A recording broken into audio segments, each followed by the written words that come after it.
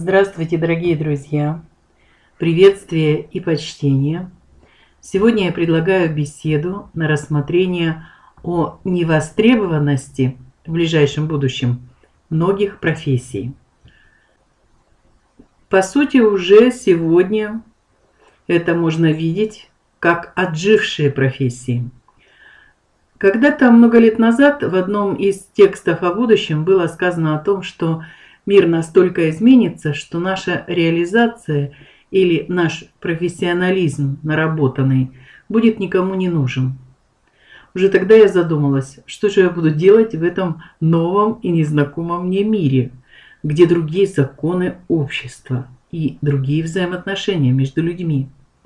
Сейчас нам всем больше приходится иметь дело с негативными проявлениями общественного порядка, особенно все ужесточается или сдавливается, или сжимается на финишной прямой проявление частот пятого измерения. Вы уже видите много сосудисто-сердечных заболеваний, потому что человек не выдерживает стрессируемость.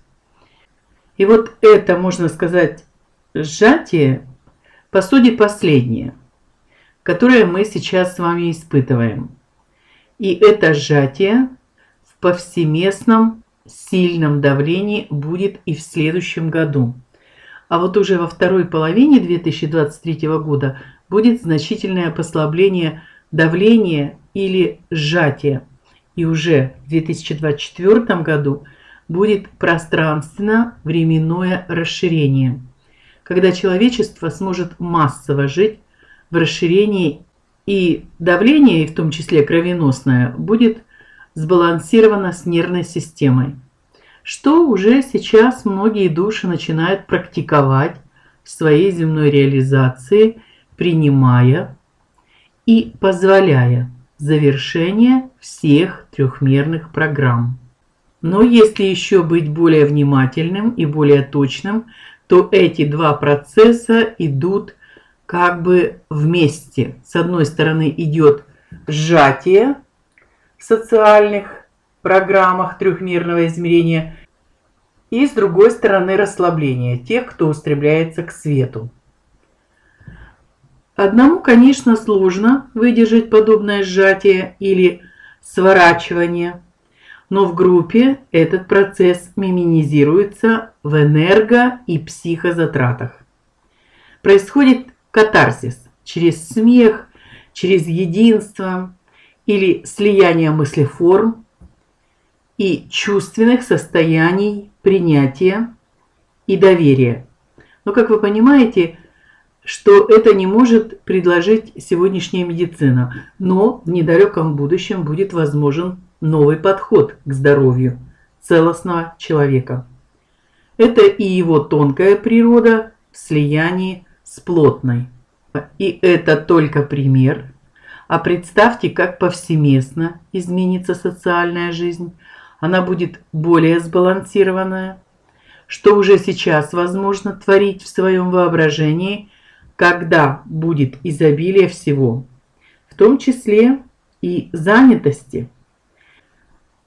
Человечество будет быстро переучиваться для новой жизни и к этому необходимо быть готовым уже сейчас, уже сегодня.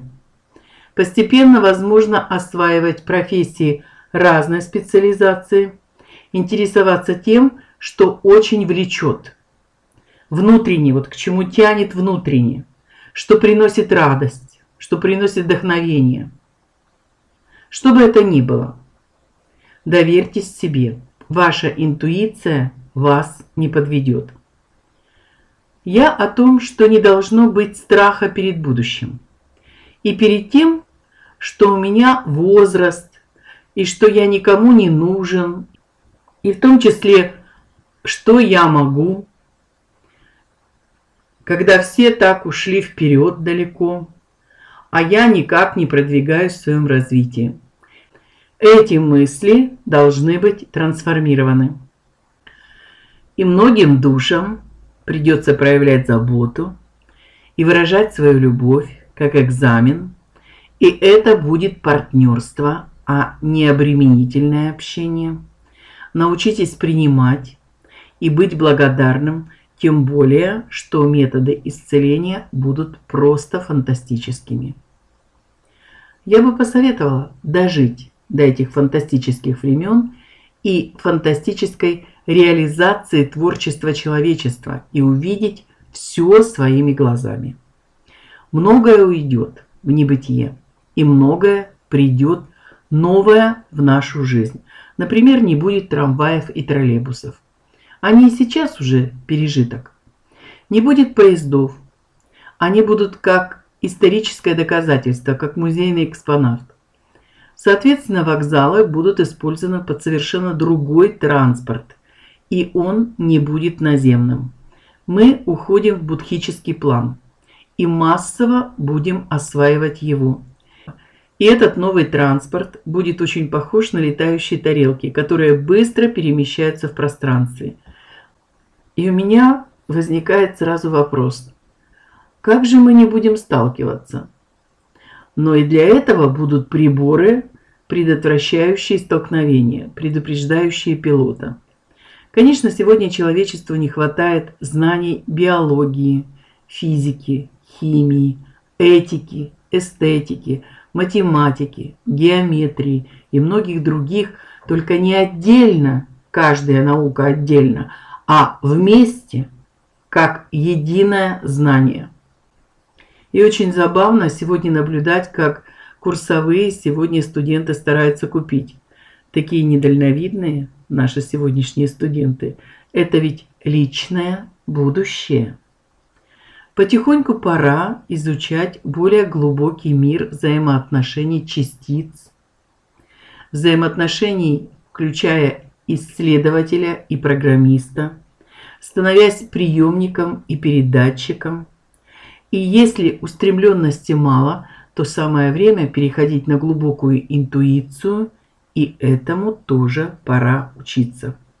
Могу сказать, что мне всегда нравилось учиться и применять эти знания в жизни. Все работает. Просто позвольте себе знать новый пятимерный мир. Позвольте подготовить вашему высшему я новую образовательную программу в залах мудрости хотя бы ночное время. Зачем терять время и болтаться без толку в астральных слоях четвертого измерения и смотреть сны, страшилок и пугалок? когда впереди серьезное испытание новой профессиональной творческой реализации в новом мире. Я за то, чтобы не бояться будущего, а уже сегодня готовиться к нему и радоваться своими продвижениями и своим сдвигом. И уже сегодня возможно распакетирование своих кодов Раскрытие своих талантов.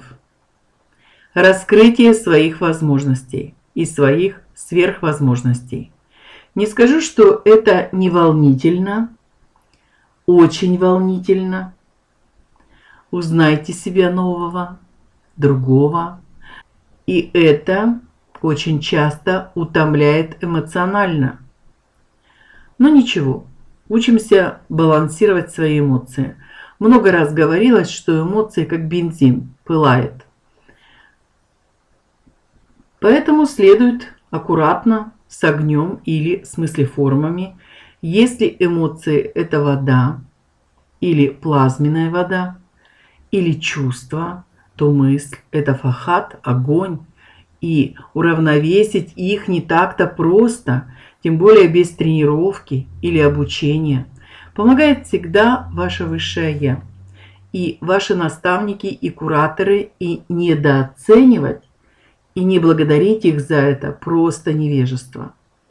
Учимся жить в содружестве и доверии с представителями тонких планов. И готовимся к новой жизни, к новым профессиям, уходя от старой жизни рабских программ. Если вы этого не делаете, то сами тормозите процесс эволюции всего человечества, и, соответственно, ваше противостояние выбросит вас в какое-то серьезное новое испытание, где придется себя изучать и позволять себе больше.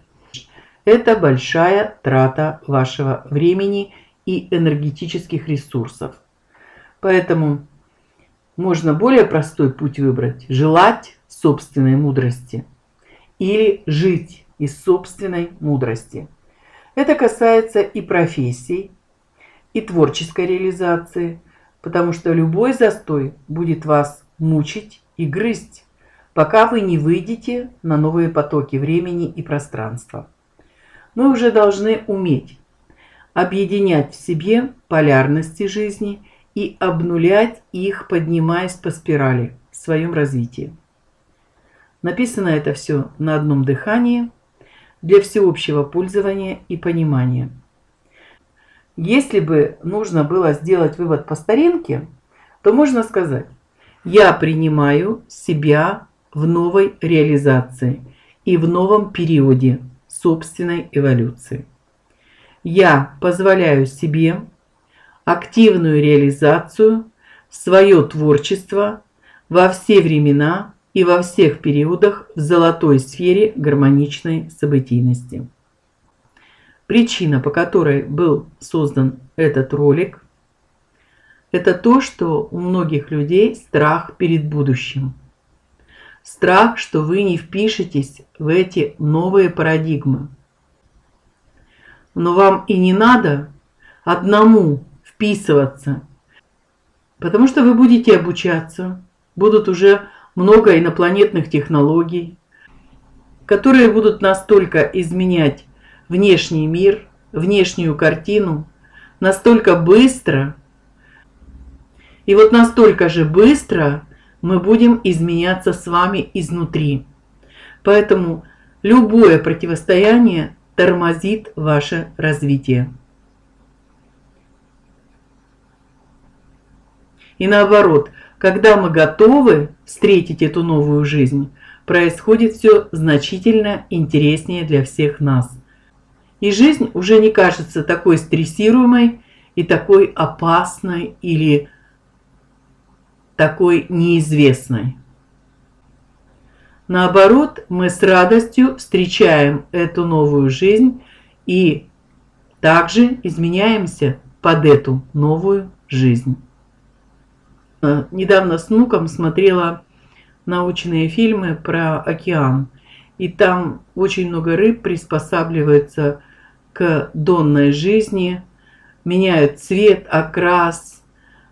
И вот даже рыбы умеют в океане приспосабливаться к новой жизни. Неужели человек такое гениальное, такое могущественное, божественное создание не может влиться в эти новые потоки и соответствовать этой новой жизни? И достаточно сегодня просто желания жить в этом новом мире – просто освободившись от старых программ.